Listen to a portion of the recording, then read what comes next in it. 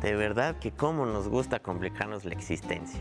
En este caso tiene que ver con la línea internacional del cambio de fecha, la cual atraviesa la mitad del Océano Pacífico y dicta en qué día estamos.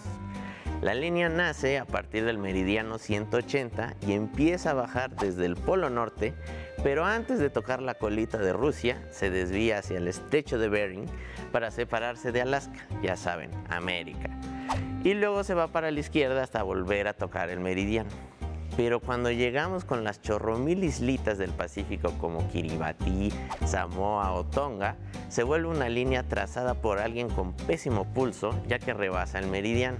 Sin embargo, el caso más surreal es el de las Islas Diómedes, una rusa y otra gringa, separadas por apenas 2 kilómetros de distancia, pero con una diferencia de 21 horas, casi un día de diferencia, para que vean que sí se puede viajar en el tiempo.